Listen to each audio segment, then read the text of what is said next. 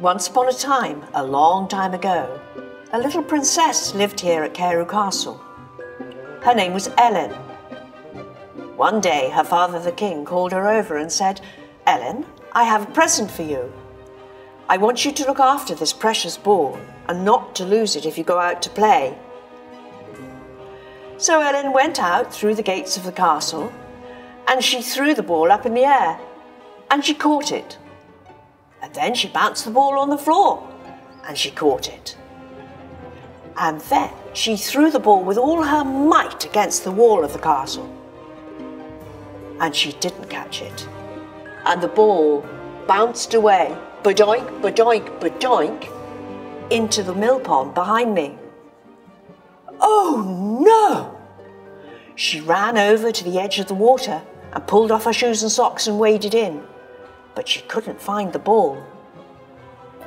Then she heard a very strange voice saying, I'll fetch it for you. Who's that? I'll fetch your ball out. And there beneath her was a frog.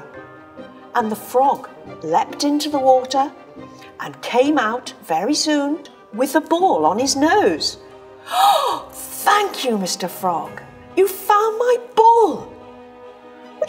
Cup of tea with us at the castle?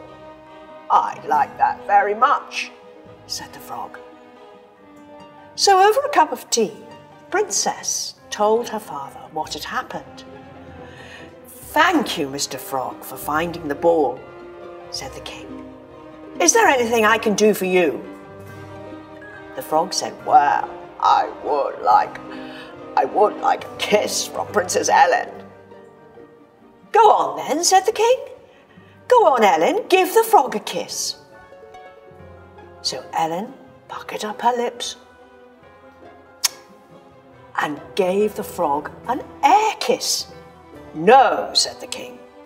Give the frog a proper kiss. So once again, Ellen puckered up her lips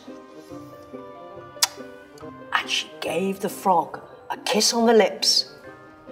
All at once, his frog feet started to become boy's feet, and he grew and grew until there was a boy standing in front of Ellen.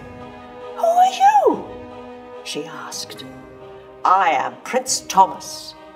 A wicked witch put a spell on me and said that I wouldn't turn back into being a prince until a proper princess gave me a kiss. So the two of them, Thomas and Ellen, grew up together at the castle. And eventually they fell in love. And they lived happily ever after at Carew Castle.